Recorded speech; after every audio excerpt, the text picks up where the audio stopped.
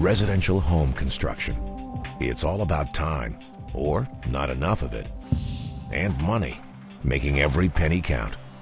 But maybe it's time to start thinking about something else.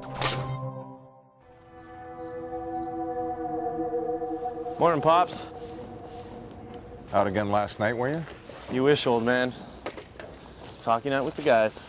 Look, we got trusses coming in at 2 o'clock, so we have to finish framing those walls by noon. Yeah, I know. I know. You be careful around that stair opening. I know, I know. It was just like any other morning, the two of us kidding around. The last thing I said when he was going up the ladder was watch out for that hole. He knew that hole was there. What was I supposed to do, hold his hand? We joke around together, I could count on him to be on time. He was a good worker.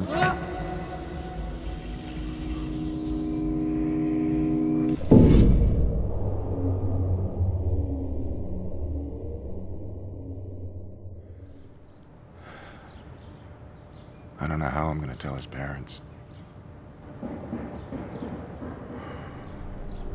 Always cover stair openings or build guardrails. You're a pro.